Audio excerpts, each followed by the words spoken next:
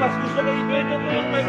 Ako si Carlo, 23 taong gulang. Ito ay kwento ng sinapit ko at naranasan sa kamay ng mga tao na halos ay walang awang Pagtulungan ako at kanila akong pahirapan Ako'y isang binatang mapagmahal sa magulang Ninais makatulong dahil sa aming kahirapan. Pakinggan mo ang kwentong gusto kong inyong malaman. Lahat ng mga nangyari sa aking di makatarungan Isang araw, naisipan namin na magnakaw Dala ng kagipitan kaya nagawa ko lamang Ang pagkakamaling. Alam kong hindi naging tama Ang manguha ng hindi sa'yo. Alam kong masama At nangyari na nga tuluyan na akong nahuli. Nang dahil lang sa kable ng kuryente ay nagsisigi na pusan ng kamay ko Para di makawala Pinagpapalo ng kahoy at wala akong magawa. Katawang namamaga nakikiusap na ako. Tama na po at masakit na lahat ay ininda ko. Hanggang sa nahirapan na ako makahinga ng hina na ang katawang tuluyang na maalam na bakit kailangan ilagay ang batas sa mga kamay.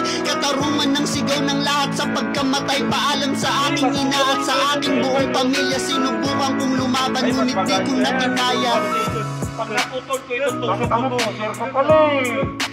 Kapit ko at naranasan sa kamay ng mga tao na halos ay walang awang Pagtulungan ako akong kahirapan Ako'y isang binatang mapagmahal sa magulang. Ninais makatulong dahil sa aming kahirapan. Pakinggan mo ang kwentong gusto kong inyong malaman. Lahat ng mga nangyari sa aking di makatarungan. Isang araw, naisipan namin na magnakaw. Dala ng kagipitan kaya nagawa ko lamang. Ang pagkakamaling alam kong hindi naging tama. Ang manguha ng hindi sa'yo alam kong masama. At nangyari na nga tuluyan na akong nahuli. Nang dahil lang sa kable ng kuryente ay nagsisigi na pusan ng kamay ko Para di makawala. Pinagpapalo ng kahoy at wala akong magawa. Katawang namamaga nakikiusap na ako. Tama na po at masakit na lahat ay ininda ko. Hanggang sa nahirapan na ako makahinga ng hina na ang katawang tuluyang na maalam na bakit kailangan ilagay ang batas sa mga kamay. Katarungan ng sigaw ng lahat sa pagkamatay. Paalam sa aking ina at sa aking buong pamilya. Sinubukan kong lumaban ngunit di ko na kinaya